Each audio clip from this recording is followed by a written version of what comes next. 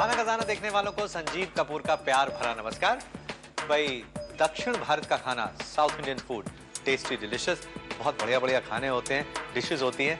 तो शुरुआत करते हैं एक हेल्दी डिश के साथ, जिसमें ढेर सारा लहसन है, लेकिन हरियाली बहुत ज़्यादा है। जी हाँ पत्तियाँ हैं और चावली की पत्तियाँ हम इस्तेमाल करेंगे इस डिश में। बहुत सिंपल है।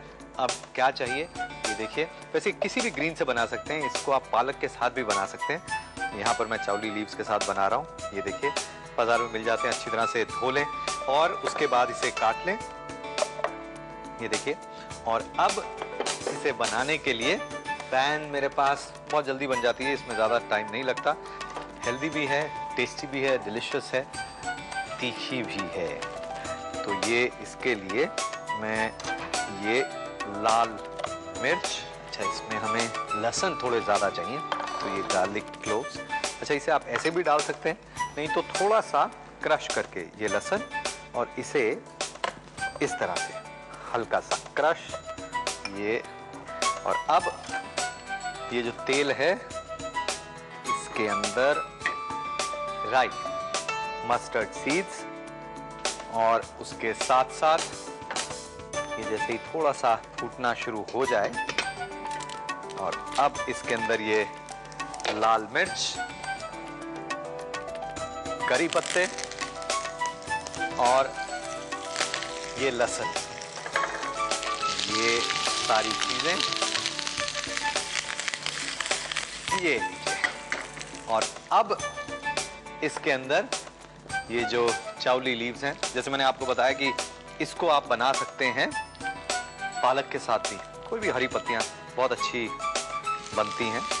ये इसमें ले लें। इसमें नमक डाल लेते हैं हम। सॉल्ट टू टेस्ट नमक स्वाद अनुसार। थोड़ा सा पानी। जरा इसे पकने देते हैं। अब क्या चाहिए मुझे? ये रोस्टेड पीनट्स थोड़े से ये।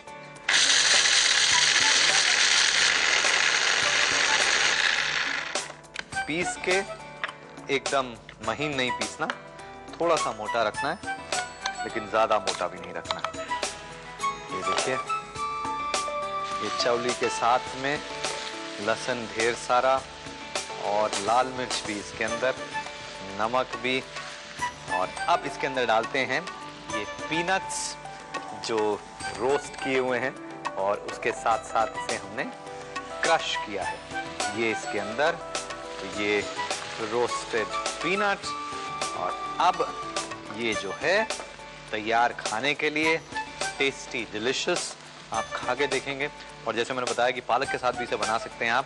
आप बना के देखिए, इतनी बढ़िया होती है कि दाल हो, साथ में ये सब्ज़ी हो और थोड़ी दही, रोटी, चावल, कुछ भी। खाने का मज़ा जो है, वाह वाह वाह। अच्छा इसमें वैसे नारियल बिल्कुल नहीं है, वो इसलिए बता रहा हूँ क्योंकि कई लोग ऐसे हैं, खास तौर से नॉर्थ में ऐसा सोचते हैं कि जितने भी दक्षिण भारत की चीज़ें होती हैं, साउथ इंडियन चीज़ें होती हैं, उसमें सब में नारियल भरा हुआ होता है। देखिए, एकदम हेल्दी डिलीशियस तीखा भी है, लहसन भी है, बनाइए। नोट करें इसके इंग्रीडियंट्स उसके बाद इसका रिकैप